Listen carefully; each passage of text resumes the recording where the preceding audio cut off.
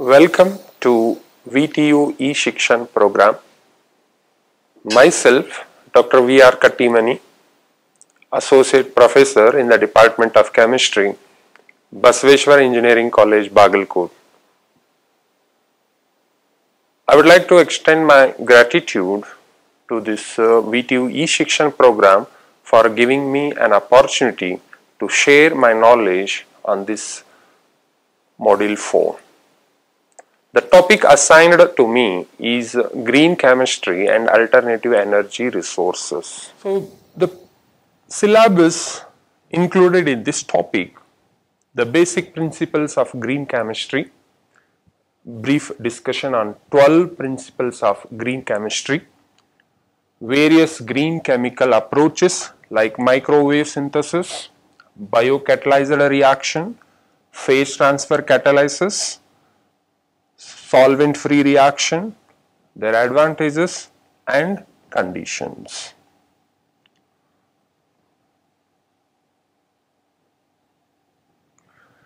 Synthesis of uh, some typical organic compounds by conventional and green route, for example adipic acid, conventional method from benzene, green synthesis from glucose, paracetamol, conventional synthesis and green synthesis from phenol. Industrial applications of green chemistry. Green fuel, hydrogen, production of hydrogen by photoelectrocatalytic and photocatalytic water splitting process and application in hydrogen fuel cells. Construction and working of methanol oxygen fuel cell. Methanol oxygen fuel cell. So taking H2SO4 as an electrolyte. Solar energy, introduction of solar energy, construction, working and application of photovoltaic cell that is PV cell.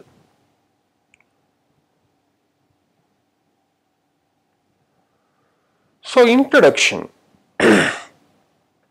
we know chemistry has played a vital role in chemical manufacturing industries which produce the products on which we depend enormously. Some of these include antibiotics and drugs.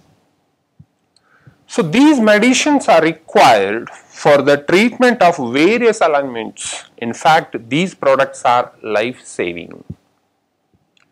Polymers, polymers, so these include plastics used in various forms for day-to-day -day use and synthetic fibers like nylon, rayon, polyester, etc. Agrochemicals, these includes fertilizers, pesticides, etc. which are essential for increasing the quality and quantity of crops. Then synthetic fuels are essential for the generation of energy, I mean production of energy, which is needed for our day-to-day -day lives. Synthetic dyes necessary to give a pleasing color to fabrics for day-to-day -day use, day-to-day -day use.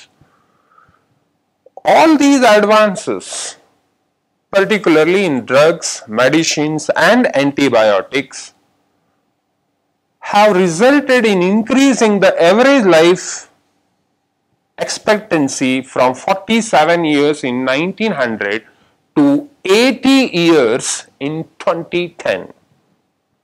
The quality of life become pleasant due to the discovery of cosmetics, dyes, and plastics.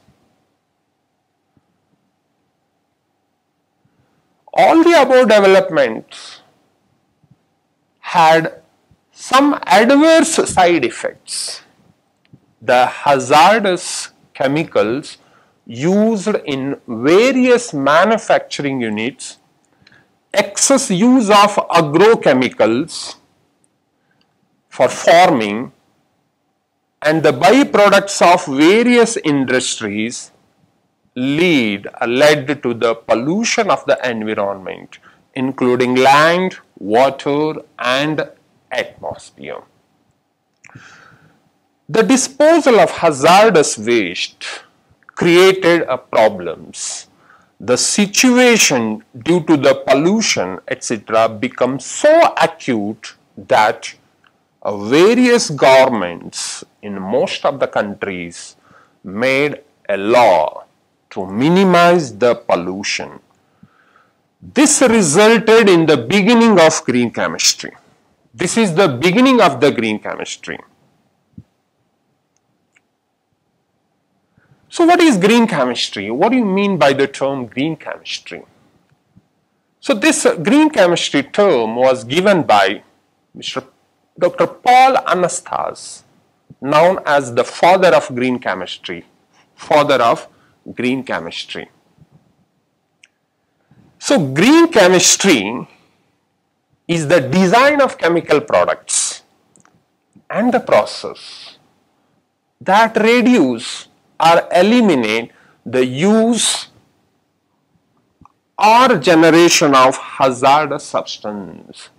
I would like to repeat once again, green chemistry is the design of chemical products and the process, design of the chemical products and the process that reduce or eliminate the use or generation of hazardous substance it reduces the use or generation of the or production of the hazardous substance. Green chemistry applies across the life cycle of the chemical products including the design of the compound, manufacture of the compound, use of the compound and ultimately the disposal of the products. Green chemistry is also known as sustainable chemistry. So, this green chemistry, it prevents the pollution at the molecular level. Is the philosophy that applies to all areas of chemistry, not a single discipline of chemistry. It applies innovative, scientific solution to real world environmental problems. Results in source reduction because it prevents the generation of pollution. This green chemistry reduces the negative impact of chemical products and the process on human health and the environment. This is very important. It reduces the negative impacts of chemical products and process on human health and the environment. It decreases and sometimes eliminates the hazards from the existing products and process. Design chemical products and process to reduce their intrinsic hazards. It designs chemical products and process to reduce their intrinsic hazards. Now look at the major pollutants their sources and their effect on human health and environment. Major pollutants. So, what do you mean by the term pollutant? Pollutant is a substance that pollutes something, especially water or the atmosphere. It can enter the environment naturally, such as from volcanoes, eruptions, or through human activities such as burning coal, gasoline, diesel, etc.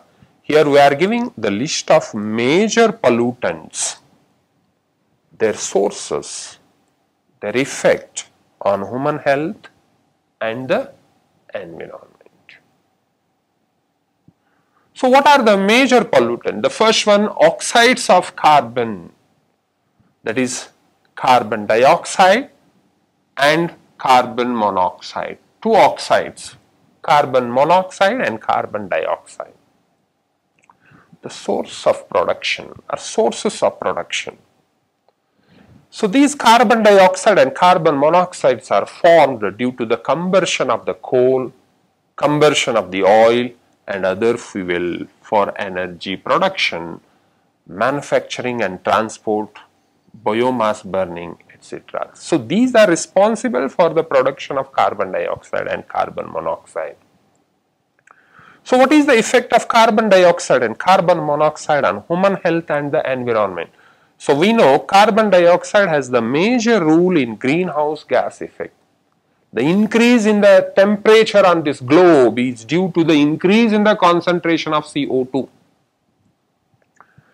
And this CO will affect the human health. The carbon monoxide has a tendency to form a bond with the hemoglobin to form carboxyhemoglobin.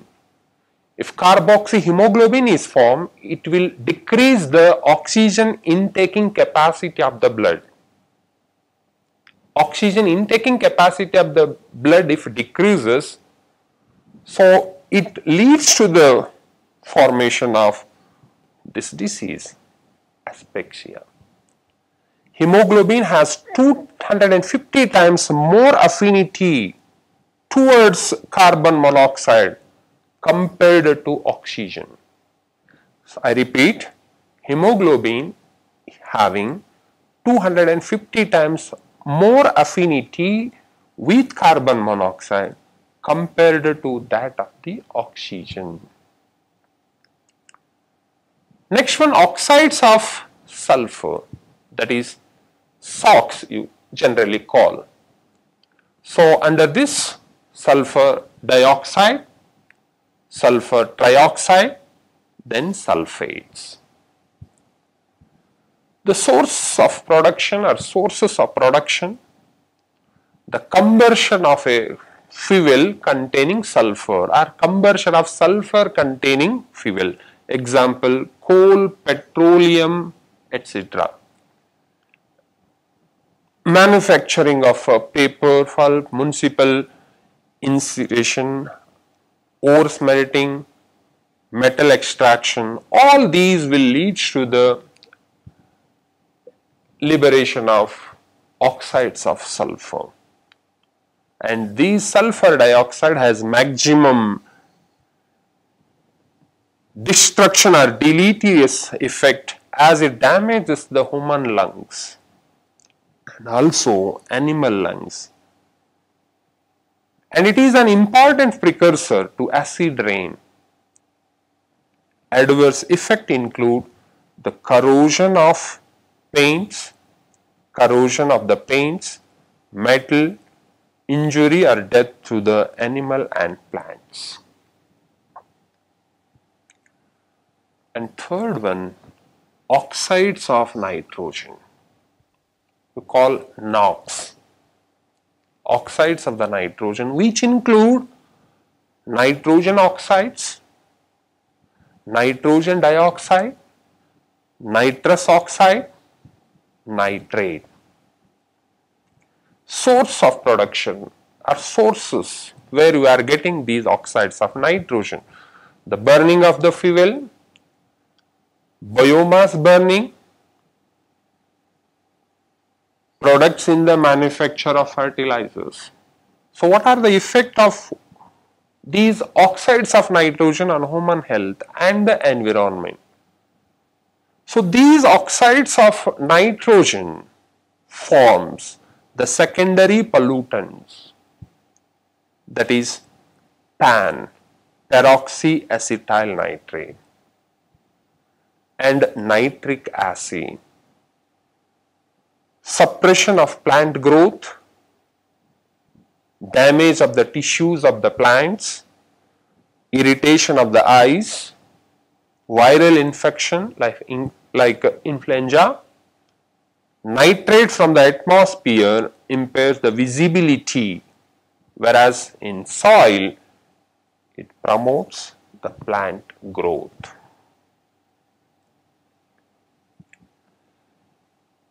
Then comes hydrocarbons also called volatile organic compounds.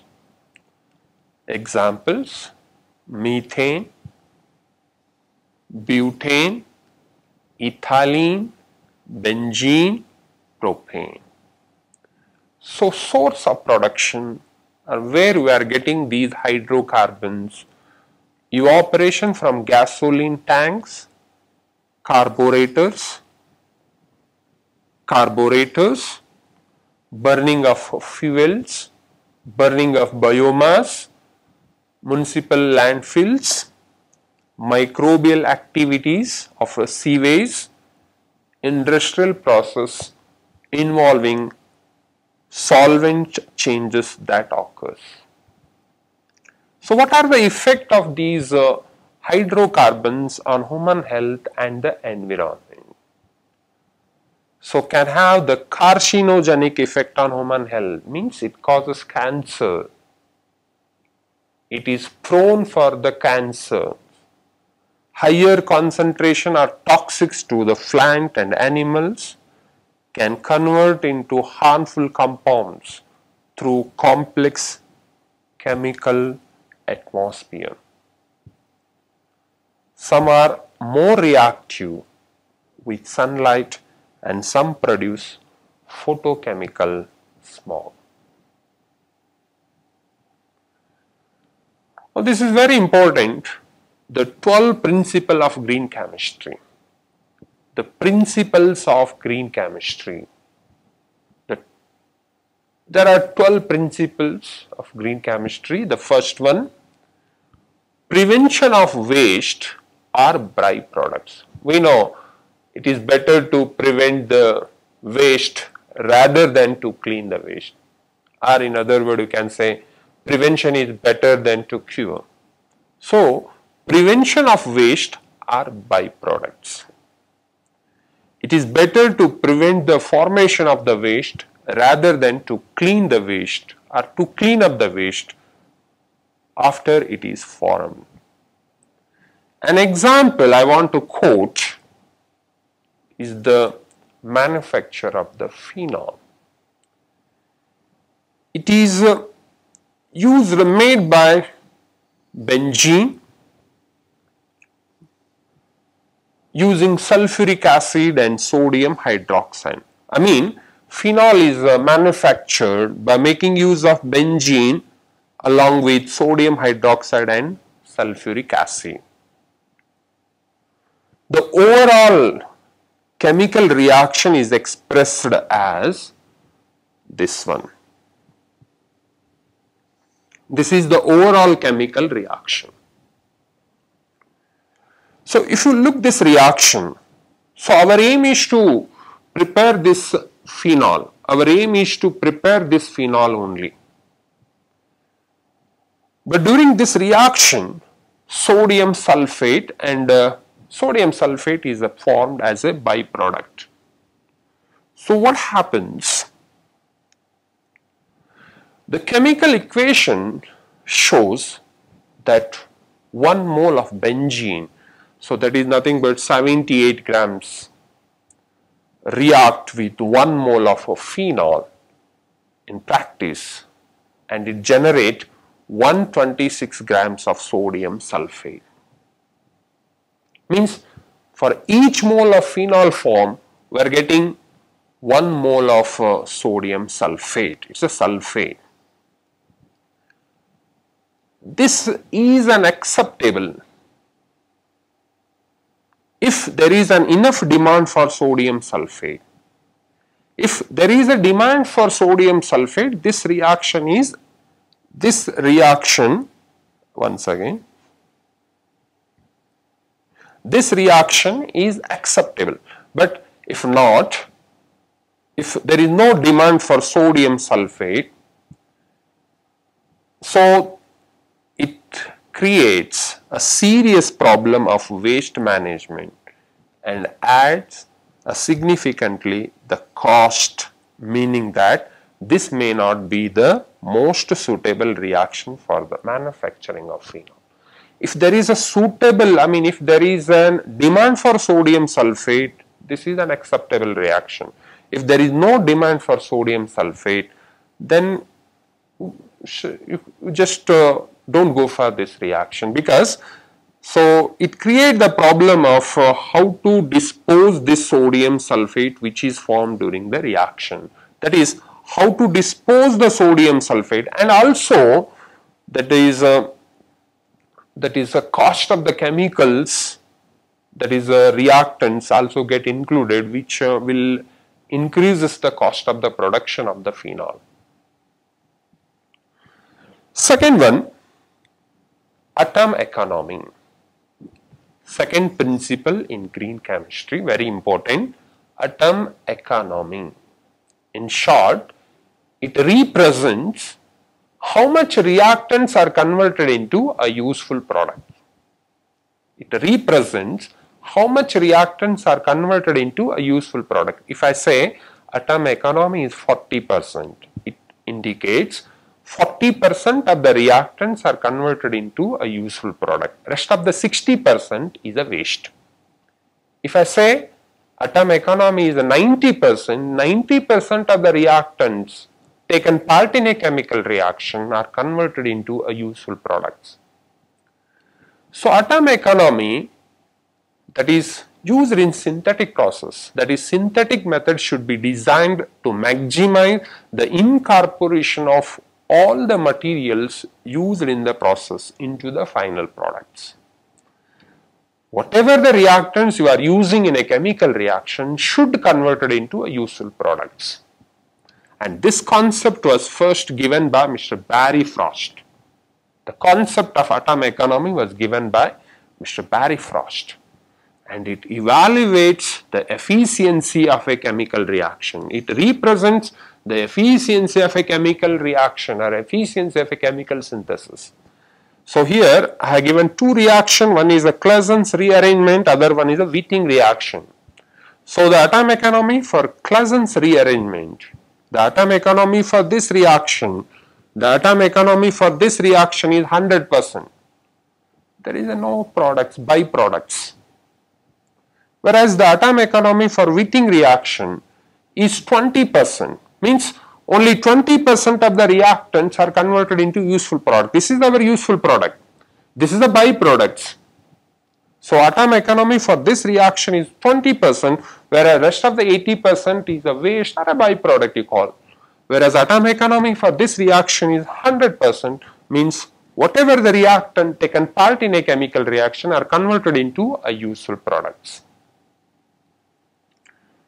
And third principle, the third principle of green chemistry, the third principle of green chemistry less hazardous chemical synthesis. In a synthesis, you follow less hazardous chemical synthesis. Wherever, whenever practicable, synthetic methodologies should be designed to use and generate the substance that poses little or no toxicity to the human health to the human health sorry to the human health and the environment. I repeat wherever whenever practicable synthetic methodologies or synthetic methods should be designed to use and generate the substance that poses little or no toxicity to the human health and the environment. Here, one example I want to quote that is the preparation of polycarbonates. polycarbonates can be synthesized by two ways or two methods. One is a phosgene process by making use of phosgene. So this uh, phosgene process has so many demerits, I mean disadvantages. phosgene is uh, highly toxic, highly corrosive. It requires large amount of dichloromethane and the product formed after the reaction contain chlorine as an impurities.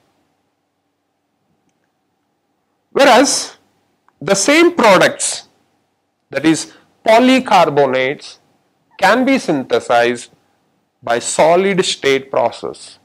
So what are the merits of this process? What are the advantages of this process? So here we are using diphenyl carbonate synthesis without phosgene, ruled out the use of phosgene, eliminate the use of dichloromethane and we get high quality, highly purified form of the polycarbonate. Means the same products can be prepared either by phosgene process or by polycarb that is solid state process. But if you compare these two processes, the solid state process has more merits compared to phosgene process. Therefore, during the synthesis, you follow solid state process rather than phosgene process.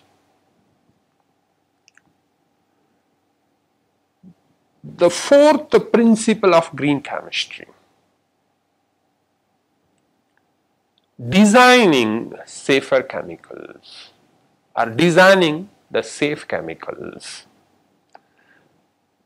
The chemical synthesized should not only be safe to handle but also should not have toxic effect.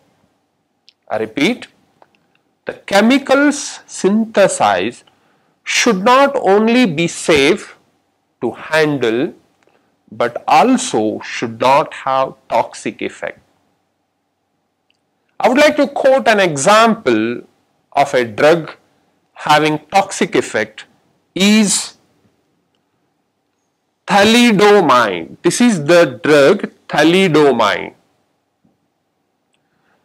This drug is used in early days to reduce the effect of morning sickness during pregnancy in women.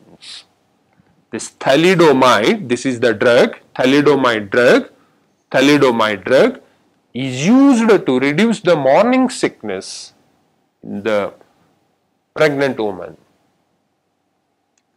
But what happened? Later it was discovered, it was observed that this drug causes serious birth defect in children born to the woman taking this drug. It was found that the drug has chiral drug means uh, it has two enantiomers. One of the enantiomer that is the right-handed molecule has its desired effect means uh, it reduces the morning sickness while the other enantiomer that is left-handed enantiomer which is responsible for the defect in the newly born child. So therefore, we have to, before to synthesize, we should know the adverse effect of the product. The fifth principle of the green chemistry safer solvents and auxiliary substance. Safe solvent for the preparation. I repeat, safer solvents and auxiliary substances. Solvents, separation agents and auxiliary chemicals are used in synthetic chemistry and uh, must be replaced or reduced with less toxic chemicals that is the solvents whatever the solvent whatever the separating reagents we are using should be replaced by or should be replaced by less toxic chemicals In view of the above, it is necessary to use benign solvents called green solvents. Water is uh, known as a benign solvent. Water is used as a green solvent. Some of the green solvents, example water, supercritical carbon dioxide, glycol and its solution. Beside using green solvent, the reaction should be such that there is no need for purification or separation.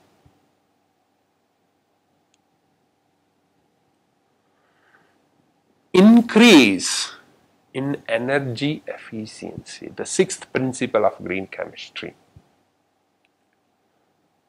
For all chemical reactions, energy is required. The requirement of the energy should be kept to a minimum. As an example, the reactants are dissolved in a suitable solvents and the reaction mixture is heated in order to complete the reaction. The heating should be done for a minimum time. The heating should be done for a minimum time. This ensure the use of minimum energy. That is, by making use of microwave synthesis, if you prepare the compound or form of a compound by making use of microwave synthesis, so microwave synthesis definitely will minimize the time for the synthesis. And as a result, the cost of the production will be reduced. The release of the harmful byproducts or harmful gases into the environment is minimized. So therefore, for all chemical reaction, energy is required. The requirement of the energy should be kept to a minimum. Means the reactants should be heated to a minimum time or minimum period.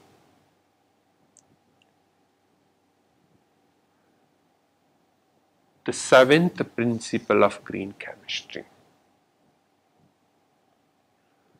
The use of renewable feedstock we know non-renewable are depleting sources like a coal, coke, etc. can be exhausted. Continual or continuous use of this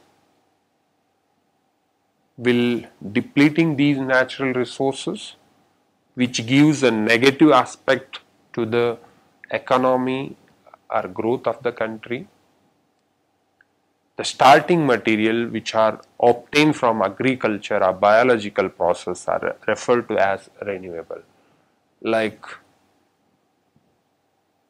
biomass, biofuel are used in place of non-renewable energy sources like petrol, diesel, kerosene you replace these with biofuels like biodiesel, etc. The concept of making all our future fuel chemicals and material from feedstock that never deplete. It is observed that nature products about 170 billion tons of plant biomass annually. Look at this. So nature will produce, nature is producing 170 billion tons of plant biomass annually of which we currently use about 3.5 percent. Only 3.5 percent of this is used for human needs. The same that is biodiesel will replace the diesel by making use of these renewable resources, we can prepare the same fuel. That is, non-renewable resources are depleting. Continuous use of these non-renewable uh, fuels gives a negative impact on the growth of the country. So therefore, the dependency on that non-renewable resources should be minimized dependency on renewable energy sources should be increased. Reduce chemical derivatization are derivatives. Chemist must aim for reducing unnecessary derivatization. Unnecessary derivatization that is use of blocking groups, protection or deprotection techniques, temporary modification, physical and chemical process in the synthetic route. So these should be minimized. So these derivatization make use of additional reagents. These derivatization use additional reagents and are wasteful and produce large amount of byproducts and waste.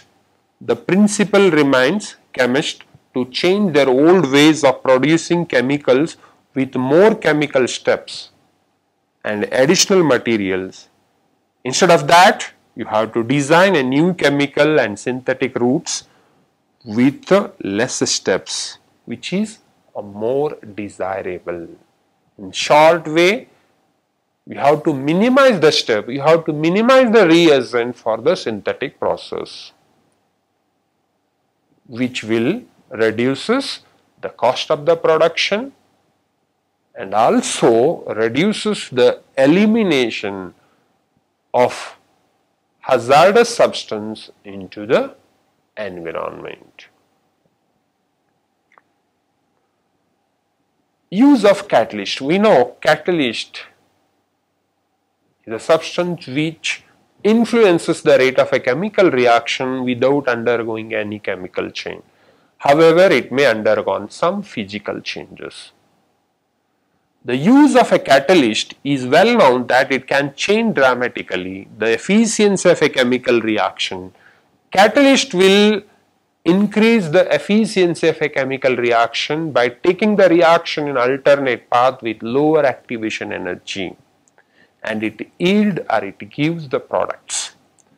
Catalytical reagent with greater selectivity can have a superior or stoichiometric reagent they have that more superior character to the stoichiometric reagent.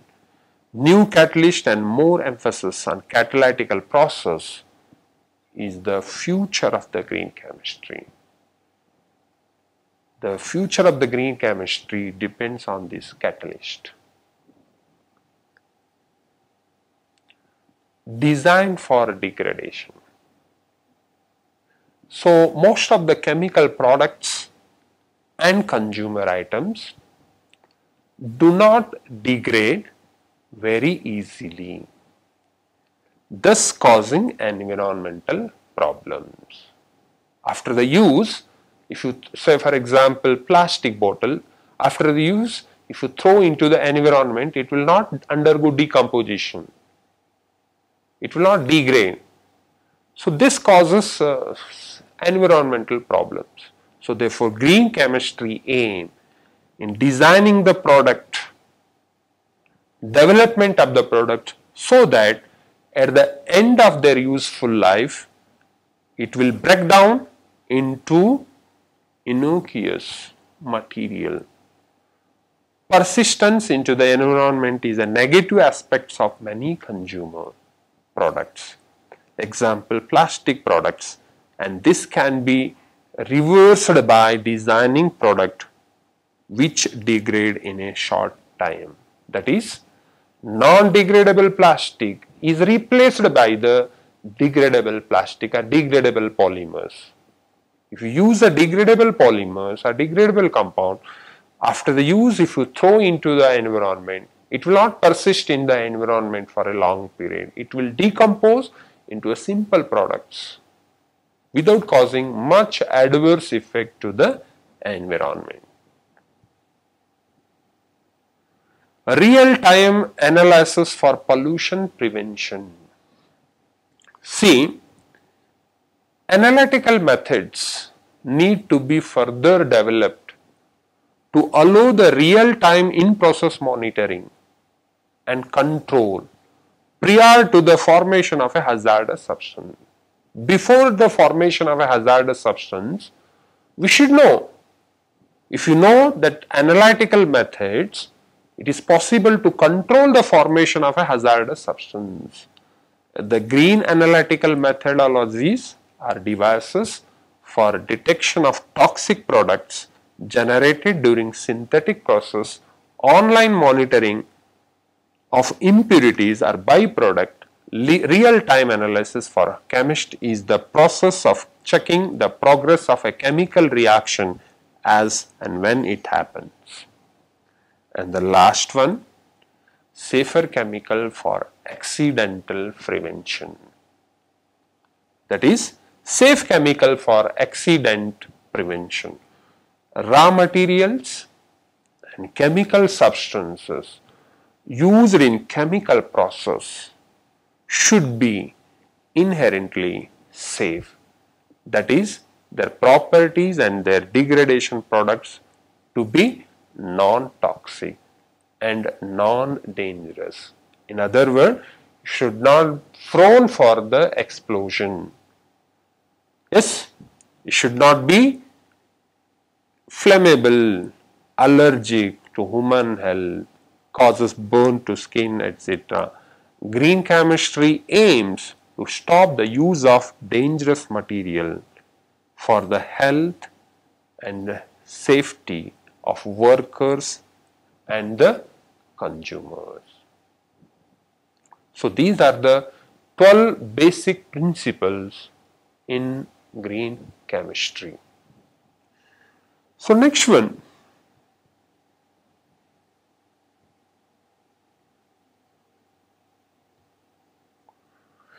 Various green chemistry or green chemical approaches.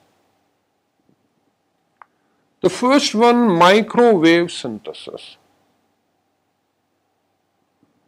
The use of microwave radiation for the synthetic process. For the synthetic process. We know the microwave synthesis is the major breakthrough in the synthetic organic chemistry where the conventional heating is inefficient and time consuming. Microwave synthesis is the new idea leads to the beginning of the green chemistry. Which is used for source heating in organic synthetic reaction. In traditional method of heating, that is traditional method of chemical synthesis, which is done by conductive heating, uh, I would like to say conductive heating. See for example, if you observe this one,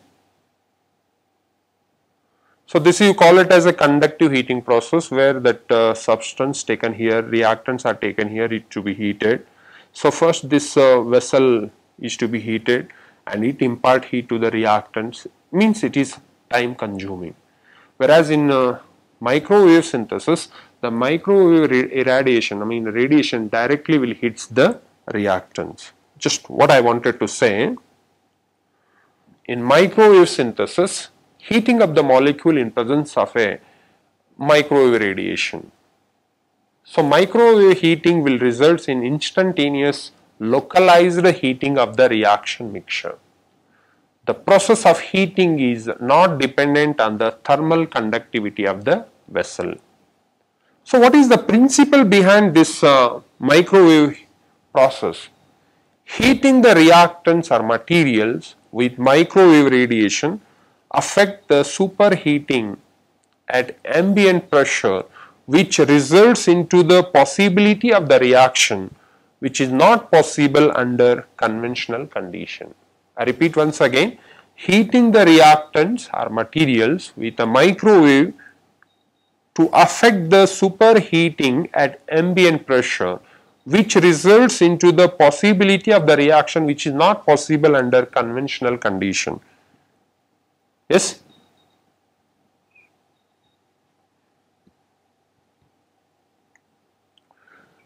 A microwave oven is used for this process. A microwave oven is used to generate the radiation. When a substance is irradiated with microwave radiation, So what happens? There occurs an interaction between the magnetic field of the microwave radiation and the micro uh, magnetic field of the substance. So this interaction will cause some time some friction and as a result heat will be generated and this causes strong internal homogeneous heating effect which results into the possibility of a reaction at a short period. So this method is also used to increase the rate or velocity of a chemical reaction. Thank you.